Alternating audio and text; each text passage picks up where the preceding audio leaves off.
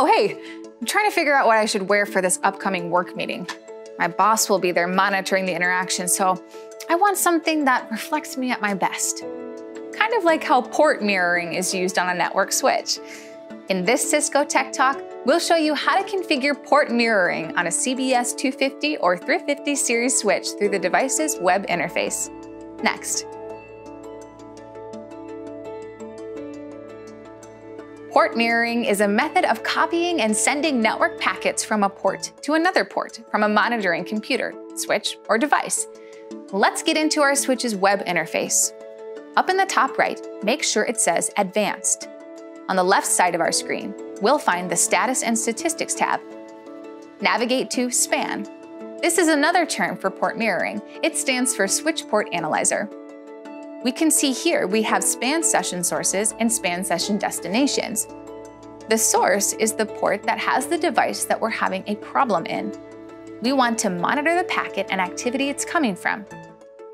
For this example, let's say we have a voice phone that's having issues. We would make the phone our source and the destination. We'll put the packet analyzer in the port. We'll use Wireshark for this example. In our source, click the blue plus We'll navigate to our source interface, then select our device's port that's having a problem. For us, it's port 7. For monitor type, we have RX or TX. Select RX and TX. RX stands for receipt traffic, and TX stands for transmit traffic. At the bottom right in blue, hit Apply. We're on the home stretch. On the left, navigate to Span Session Destination. Click the blue plus at the top choose a port. On our network, we're going to select port 6 because that's where we have Wireshark. Enable the network traffic and then hit apply. Lastly, click the red floppy disk flashing at the top right to save.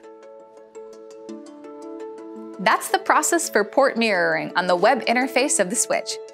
Hopefully this gives you something to reflect on in the future. Thanks for watching this Cisco Tech Talk. We'll see you next time.